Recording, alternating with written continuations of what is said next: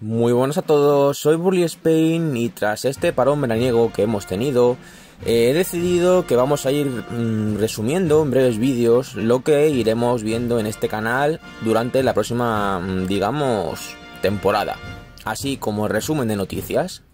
Comenzamos.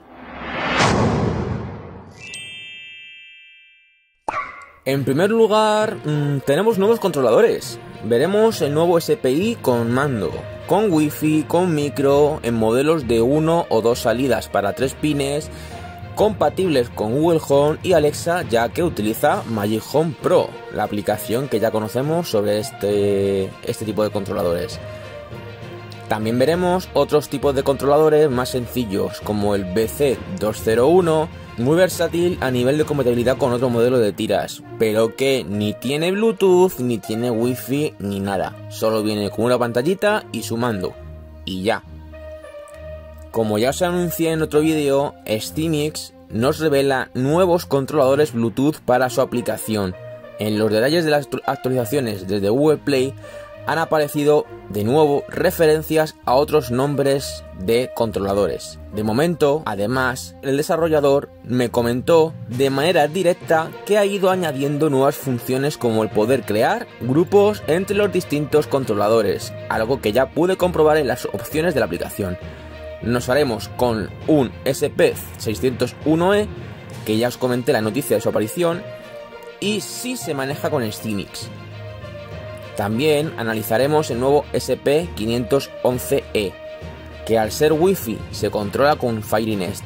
Digamos que es una evolución del SP501E, añadiendo mando y la posibilidad de doble salida de tres pines.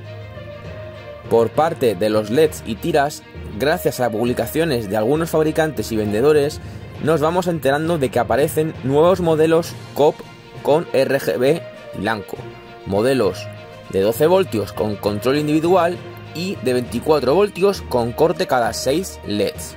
Bastantes avances.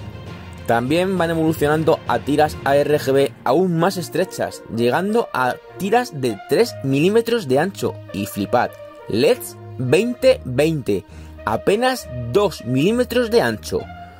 Ojo, que también estoy viendo proyectos con otro tipo de tiras, modelo SK68 15 con LEDs 1515.